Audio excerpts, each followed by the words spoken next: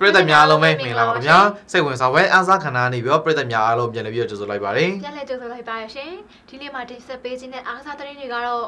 UFC တနစ်တာအကောင်းဆုံးပွဲစကားရင်းစီးရင်ဝင်နိုင်တဲ့ Poirier ရဲ့နိုင်ပွဲဆိုတဲ့သတင်း16လတွင်ပထမဆုံး PGA စုဖလားဖြစ် Traveler Championship ပြိုင်ပွဲမှာချွန်ဆင်ဖို့ဆွဲတဲ့ဆိုတဲ့သတင်း Battle of the Brave ရန်ကုန်ငွေပြိုင်ပွဲမှာ Event Champion အဖြစ်အောင်ပွဲခံတဲ့ဆိုတဲ့သတင်း ဩဂုတ်လတွင်လိုက်ဝဲရွှေကပတ်ပေါင်းစီပွဲမှာတရဖူကာဝယ်မဲ့ KT တီလာဆိုတဲ့သတင်းအစရှိအားကစားသတင်းတွေကိုတင်ဆက်ပေးမှာဖြစ်ပါတယ်ဟုတ်ကဲ့ပါဒီနေ့အတွက်ပထမဆုံးသတင်းတစ်ပုဒ်အနေနဲ့ကတော့ UFC တနစ်တာအကောင်းဆုံးပွဲစကားတင်စင်ဝင်နိုင်တဲ့ Poirier ရဲ့နိုင်ပွဲဆိုတဲ့သတင်းကိုပထမဆုံးအနေနဲ့တင်ဆက်ပေးကြပါမယ်အမေရိကန်နိုင်ငံသား Justin Poirier ကစနေနေ့ကထိုးသက်ခဲ့တဲ့ UFC ပွဲမှာတော့ယခုနေ့ UFC ရဲ့တနစ်တာအကောင်းဆုံးပွဲအတွက်စကားတင်စင်ဝင်နိုင်တဲ့ပွဲပြည့်ပြတ်မဲ့ဖြစ်သူဒန်ဟူကာကိုအကျိတ်နဲ့ထိုးသက်ကအမှတ်နဲ့အနိုင်ရရှိခဲ့ပါတယ်။ အသက်32နှစ်ရွယ်ရှိပါရီယာဟာတန်လောင်အိနဲ့6လကြာကင်းကွာနေခဲ့ရပြီးနောက်မှာတော့ပြန်လည်ထိုးသက်ခဲ့တဲ့ပထမဆုံးပွဲမှာခက်ခဲတဲ့ပြန်ပန်းနေရင်ဆိုင်ခဲ့ရတာဖြစ်ပြီးတော့ဒုတိယအချိန်မှာအလဲထုတ်မခံရရဲ့အတွက်အစွမ်းကုန်ရုန်းကန်ခဲ့ရကလက်ဝိတ်ပွဲစဉ်အဖြစ်ထိုးသက်ခဲ့တဲ့9ချီအပြီးမှာတော့အမပေးတိုင်3စလုံးကပါရီယာကို၄၈၄ကုန်း၄၈၄ကုန်း၄၈၄ချောင်းအမှန်နဲ့အနိုင်ပေးခဲ့တာဖြစ်ပါတယ်။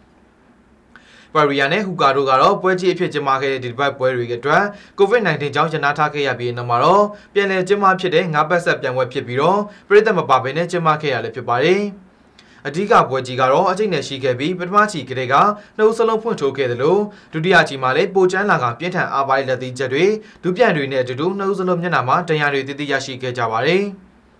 စတုဒရာကြီးမှာတော့ပါရီယာဟာပေါ်သိန်းထိုးကော့တွေချုပ်ကော့တွေနဲ့ကြည်ချင်းပွဲဖြတ်ဖို့ကြိုးစားခဲ့ပေမဲ့လေဟူကာကတော့ရှောင်ထွက်နိုင်ခဲ့ပြီးတော့ပါရီယာကပြစ်စမကြီးမှာဥဆောင်ထိုးသတ်ထားနိုင်ခဲ့ပါတယ်ပါရီယာက2019 AV လာကဟော်လိုဝိတ်ကိုနိုင်ယူက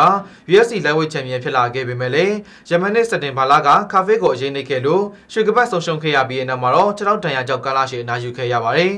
ဟုတ်ကဲ့ပါနောက်ထပ်တင်ဆက်ပေးခြင်းတဲ့အားကစားသတင်းကတော့16လတွင်ပထမဆုံး PGA စုဖလားဖြစ် Traveler Championship ပြိုင်ပွဲမှာချွန်ဆင်ပိုဆွဲတဲ့ဆိုတဲ့သတင်းမှာပြီး တဲ့ကော်တမတက်စတင်ဂျွန်ဆင်က Traveler Championship ပြိုင်ပွဲမှာ16လအတွင်းပထမဆုံး PGA ဆုဖလားအဖြစ်အောင်ပွဲခံဖို့ဆွဲထားခဲ့ပါတယ်။ဂျွန်ဆင်ကနောက်ဆုံးနေ့မှာ68ချက်ရိုက်နိုင်ခဲ့တာကဒုတိယနေရာက Streamer ကိုတစ်ချက်အသာနဲ့ကြွဖြတ်နိုင်ဖို့လုံလောက်စေခဲ့ပြီးတော့တတိယနေ့ပြီးပြိုင်ပွဲကိုဦးဆောင်နိုင်ခဲ့တဲ့ Brandon Talk ကအဖွင့်17ခြင်းပြီးမှပုံမှန်အတိုင်းရိုက်နိုင်ခဲ့ပေမဲ့ ဂျေးမန်စနစ်မှာတော့ဆိုရွာဖြစ်တမန်ရိုက်ချက်တဲ့3ချက်ပိုရိုက်ခဲ့ပြီးနောက်လျက်တာရိုက်ချက်မှာရှော့ဝိုက်ချက်73ချက်နဲ့ပူတဲ့အဆင့်17နေရာမှာသာရပ်တည်ခဲ့ရပါတယ်2014 Traveler Championship Champion Streamer ကဂျေးမန်18မှာတမန်ရိုက်ချက်တဲ့တစ်ချက်ရှော့မရိုက်နိုင်ခဲ့ပေတမန်ရိုက်ချက်အတိုင်းပါပဲရခဲ့လို့ဂျွန်စင်က2019 February လက WGC Mexico Championship ပြန်ဝင်နောက်ပိုင်းပထမဆုံးအကြိမ်ချန်ပီယံဖြစ်ရတဲ့တမန်ရိုက်ချက်တိုင်းရက်ကချန်ပီယံဖြစ်သွားပါတယ်။ ချိုစင်ကနောက်ဆုံးနေ့မှာ68ချက်ရိုက်ပြီးစုပေါင်းရှော့ဝက်ချက်19ချက်နဲ့ပိုဆွဲနိုင်ခဲ့တာဖြစ်ပြီးတော့အမေရိကန်တိုင်းနိုင်ငံသားစထရီမန်ကရှော့ဝက်ချက်18ချက်နဲ့ဒုတိယအမေရိကန်နိုင်ငံသားဝီကော်တွနဲ့ကနေဒါနိုင်ငံသားမကင်စီဟူးစတိုကရှော့ဝက်ချက်18ချက်စီနဲ့တတိယနေရာမှာပူးတွဲရပ်တည်ခဲ့ပါတယ် US Open Champion ဟောင်ချွန်စင်ကကစားသမားဘွားတစ်လျှောက်22ကြိမ်မြောက် PGA ဆုဖလားရယူနိုင်ခဲ့ပြီဖြစ်က2008နောက်ပိုင်းနှစ်တိုင်းအနည်းဆုံးဆုဖလားတစ်လုံးရယူတဲ့အစင်လာကိုလည်းဆက်ထိန်နိုင်ခဲ့တာဖြစ်ပါတယ်။ ဟုတ်ကဲ့ပါနောက်ထပ်သတင်းတစ်ပုဒ်အနေနဲ့တက်ဆက်ပေးခြင်းတဲ့သတင်းကတော့ Battle of the Bridge ရန်ပုံငွေပြိုင်ပွဲမှာ Event Champion ဖြစ်အောင် Welcome ဆိုတဲ့သတင်းကိုဆက်လက်ပြီးတက်ဆက်ပေးခြင်းပါတယ်ပြည်တဲ့နိုင်ငံသားဒန်အီဗန်ကတော့ Battle of the Bridge ရန်ပုံငွေပြိုင်ပွဲရဲ့ဗိုလ်လူပွဲမှာတော့ပြည်တွင်းပြိုင်ဘက် Kylie Evan ကိုအနိုင်ယူခဲ့ပြီးတော့ချန်ပီယံဖြစ်အောင်ပွဲခံသွားခဲ့ပါတယ်အသက်30ရွယ်ရှိတဲ့ Evan ကပြည်ထိုင်နိုင်ငံနံပါတ်1တင်းနှစ်သမားအဖြစ်သတ်မှတ်ခံထားရတဲ့အတိုင်းအုပ်စုတွင်မှာတော့ရှုံးပွဲမရှိခဲ့သလိုဗိုလ်လူပွဲမှာလည်း636နှစ်နဲ့နှစ်ပွဲပြတ်အနိုင်ရရှိခဲ့ပါတယ်။ ဗိုလ်လူပွဲမှာအီဗန်ကအက်စမန်ကိုပထမဆုံးအကြိမ်နိုင်ရရှိခဲ့ပြီးတော့တတိယနေရာလူပွဲမှာတော့ကင်မရွန်နော်ရီကတော့ညိုတကြီးတန်ရာကြောင့်ပြန်ပွဲကနေထွက်ခဲ့ရတဲ့အန်ဒရီမာရီရဲ့နေရာမှာတော့အစားထိုးဝင်ရောက်လာခဲ့တဲ့ဂျိမ်းစ်ဝက်ကိုတော့6395နဲ့နိုင်ရရှိခဲ့ရလဲဖြစ်ပါတယ်။ event ဟာကိုရိုနာဗိုင်းရပ်စ်ကြောင့်ပွဲတွေမရနာခင်နောက်ဆုံးကစားခဲ့တဲ့ဒူဘိုင်းချန်ပီယံရှစ်ပြိုင်ပွဲမှာလည်းဆီမီဖိုင်နယ်ထိတက်ရောက်ထားနိုင်ခဲ့ပြီးတော့ကမ္ဘာစစ်သမတ်ချက်မှာလည်းကစားသမားဘွားတစ်လျှောက်အမြင့်မားဆုံးအဖြစ်အဆင့်28နေရာမှာတန်လှန်ထားနိုင်ခဲ့ရလဲဖြစ်ပါတယ်။ ဒီနေ့အတွက်နောက်ဆုံးတင်ဆက်ပေးခြင်းတဲ့အားကစားသတင်းကတော့အော်လာတွင်လိုင်းဝဲရွှေကပတ်ပေါင်းစည်းပွဲမှာတရဖူကာဝဲမဲ့ KT တေလာဆိုတဲ့သတင်းမှာရှိမျိုးသမီးလက်ဝရီတရဲ့အငင်းပွဲဝင်မရှိချန်ပီယံ KT တေလာကနမဲစည်းပွဲစီစဉ်သူအတီဟီယရဲ့ Matchroom Fight ကစိတ်ပိုင်းတရက်အဖြစ်အော်လာ22ရက်နေ့မှာလက်ဝရီကြိုးဝိုင်းနဲ့ပြန်လည်ဝင်ရောက်လာတော့မှဖြစ်တယ်လို့သိရပါတယ်အသက်33နှစ်အရွယ်ရှိတဲ့အာယာလာနိုင်ငံသူတေလာက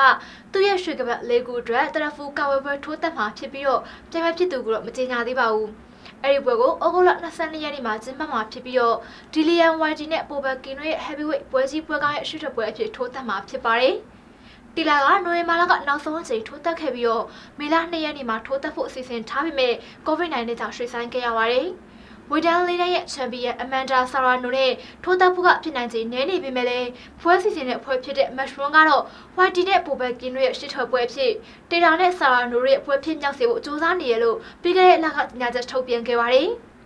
တကယ်လို့ဆာဝါနုနဲ့ပွဲသားဖြစ်မလာခဲ့ဘူးဆိုရင်ဂျွန်လာကအငင်းပွဲဝယ်ဆုံးဖြတ်ချက်နဲ့အဆုံးသတ်သွားတဲ့တရက်ဖူပေါင်းစည်းပွဲကိုတကြောပြန်ဖြစ်ဘယ်ဂျီယန်နိုင်ငံသူဒဲရိုဖိုင်ဘာဆွန်နဲ့ပြန်လည်ထိုးသက်ဖို့ရှိနေတာဖြစ်ပါတယ်။ဟုတ်ကဲ့ပါဒီနေ့တော့စိတ်ဝင်စားပွဲအားစားစစ်စင်ကတော့မှာပဲနားကြပါခင်ဗျာနောက်နေ့မှာဆိုလို့ရှိရင်လည်းဒီထက်ပိုပြီးစိတ်ဝင်စားဖို့ကောင်းတဲ့အားကစားသတင်းတွေကိုတင်ဆက်ပေးသွားမှာဖြစ်ပါတယ်ဒါကြောင့်မို့လို့ကျွန်တော်တို့ဒီ season လေးကိုဆက်လက်ဆက်ပြီးကြည့်ရှုအားပေးကြဖို့လည်းဖိတ်ခေါ်ချင်ပါတယ်တ िश ူအားပေးခဲ့ကြတဲ့ပရိသတ်များအားလုံးကိုလည်းကျေးဇူးတင်ပါတယ်ရှင်ကျေးဇူးအများကြီးပဲတင်ရှိပါခင်ဗျာ